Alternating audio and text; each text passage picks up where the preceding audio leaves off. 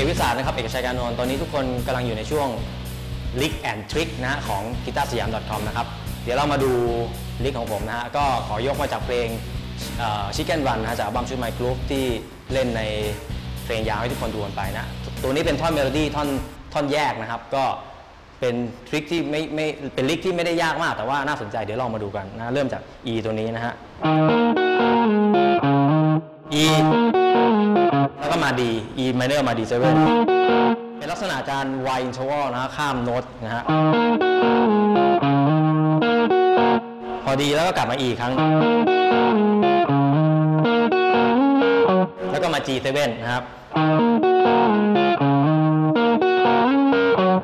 แล้วก็กลับมาอีก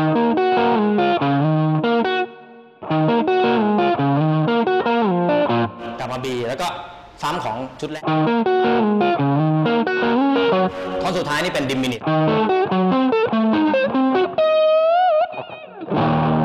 แล้วก็มาจบที่โน้ต E ดิมินิต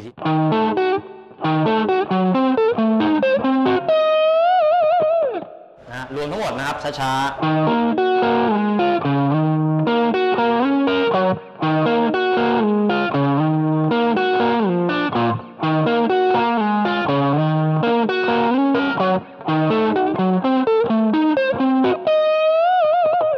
สังเกตมือขวาผมไม่ดีเราจะใช้เทคนิคที่เรียกว่า hybrid picking นะ hybrid picking ก็คือใช้ปิกผสมกับนิ้วอีกทีนะครับ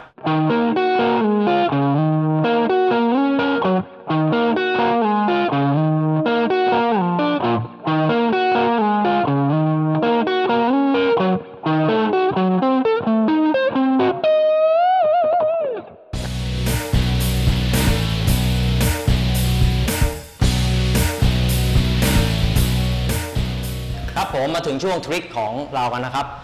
สมมติว่าคุณไม่ได้ไม่มีเวลา warm up เนี่ยสมมติคุณต้อง warm สักสิบนาทีคุณก็เล่น lick นี้ คุณก็จะเหมือนกับได้ warm up กับทุกอย่างแล้วมันจะเป็นลักษณะอย่างนี้นะดูนะฮะ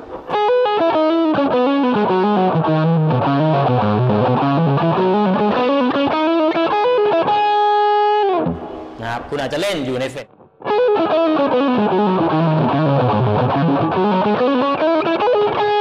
แล้วมันจะมีอินไซ e ์พิกกิ้งเยอะแยะในการเล่นมากๆสังเกตดูที่มือขวา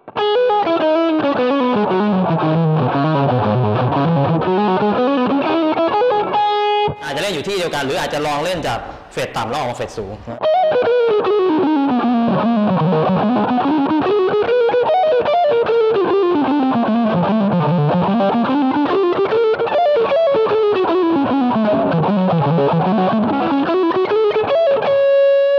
นี่ก็ได้นะครับ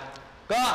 สำหรับถ้าเกิดเราแค่ฝึกตามเขาอย่างเดียวก็อาจจะไม่ได้เครียดอะไร ถ้าทุกคนอยากเล่น lick นี้ในเวอร์ชันที่ง่ายๆนะฮะก็แนะนำให้ลองเล่นกับ pentatonic minor นะเพราะว่ามันเป็น lick ที่ two note per string นะครับเมื่อกี้ไม่ใช่ pentatonic เมื่อกี้เมื่อกี้เป็นสเกลแบบอาจจะฟิวชั่นซับซ้อนมาก เดี๋ยวเรามาดูแบบเวอร์ชันง่ายๆของมาที่ผมลองมา apply เองนะก็จะได้เป็นดังนี้นะครับใน pentatonic pattern ที่ 4 นะ pentatonic minor A เราก็เล่นเป็น